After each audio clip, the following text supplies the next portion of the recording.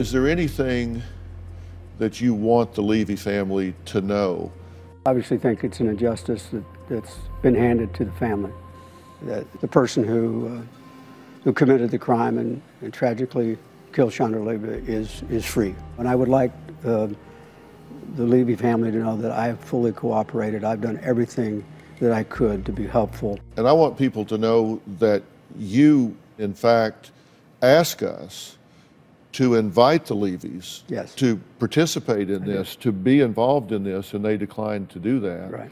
But you, you're not avoiding that at all. In fact, you said, please uh, uh, invite them to be a part of this. Yeah, I. You- You, you're being completely transparent with them. I'm trying to be.